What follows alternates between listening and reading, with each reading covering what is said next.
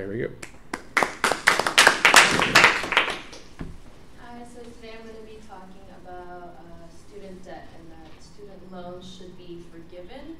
Um, to start off, I'm going to just let you guys know, um, or how many of you guys have taken out a loan or probably plan on taking out a loan for school or university in the future? Okay, so a couple. Um, so in the last um, 40 years, there has been um, the total amount of people who have been taking out loans. There's about 1.5 trillion who owe in just student loans. Um, in my own experience, I have friends who have gone away for college, whether it is um, out of state or just moved away from home, and they've taken like thousands of dollars of just loans themselves.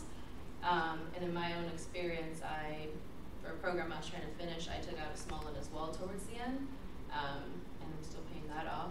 But um, so I'm going to be talking about the problem, which is uh, student student debt, the possible solutions for it, and then the ultimate solution with the results of that one. Um, to start off, according to Katrina, Katrina uh, Valden from the Washington Post in 2018, she talks about how um, both sides of um, parties, both Democrats and Republicans, are very highly recommending for students or for um, yeah for students to be going to college after high school.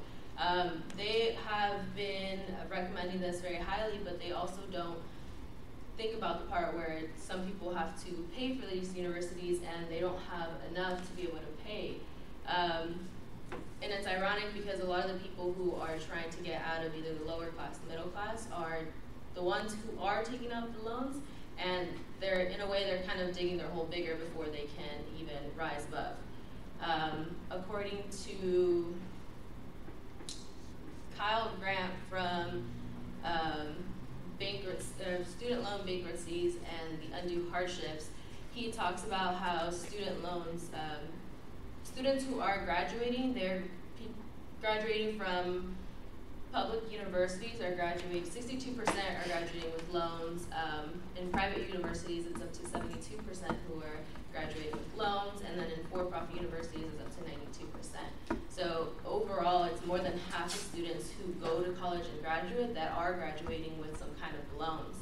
Um, also, within the last few, within the last 30 years, um, the cost of tuition has been rising a lot. It's up to 400 percent that is rising, um, and it's only going to keep going up.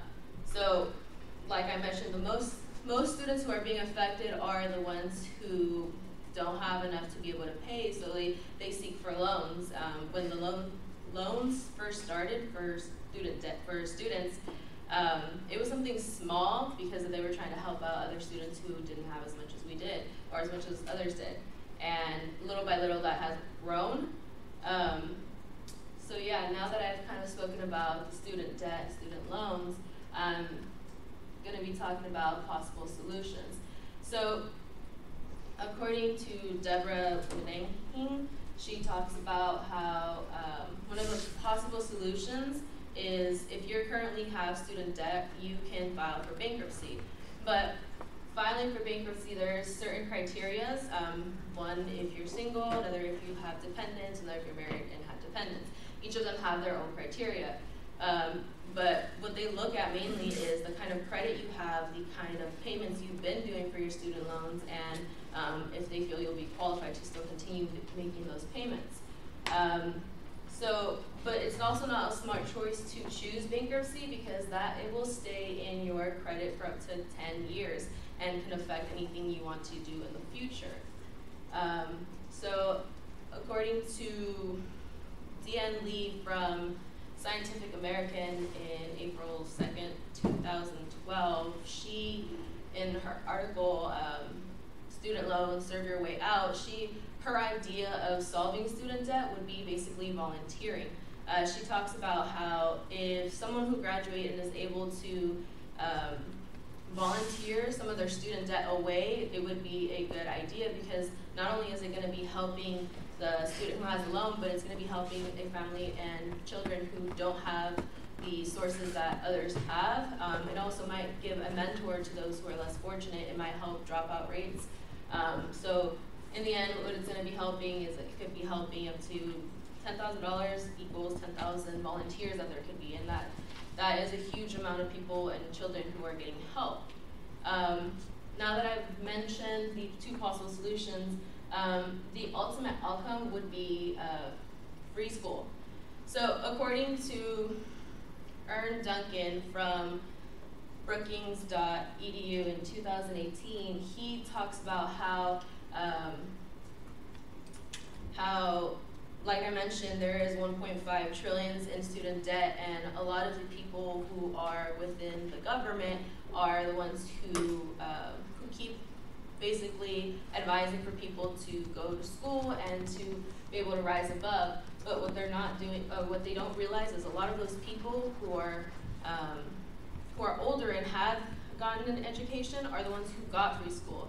There was free school from the 1940s up until almost the 1980s, and a lot of these people got free school. But nowadays, um, we have um, to worry about student debt, and back then, um, the United States was number one when it came to college and education. Um, now we're number we're 12th, and I, a lot of that most likely has to do with the amount of debt that we have to worry about because some drop out because they're not able to pay or they have other things to worry about.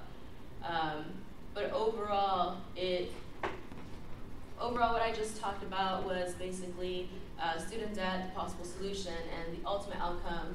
Since it's worked before, why not do it again? And since it was useful and it worked, um, overall free education would be one of the main reasons to um, get rid of student debt.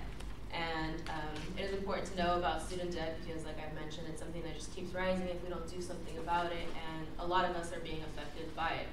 Um, overall, so my suggested action would be um, you can, I know we have financial aid here, there's FAFSA, they talk about student loans, and um, there's also College Board that we'll mention about student loans, and then if you want to know just about loans overall, there's your nearby bank, and that's